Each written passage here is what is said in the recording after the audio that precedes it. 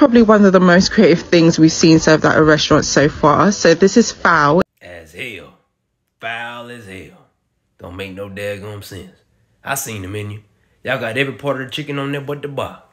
Then you had a decency to give him a haircut. Could've given him a little edge over something, but he ain't even do it. Or make you not even want no peas.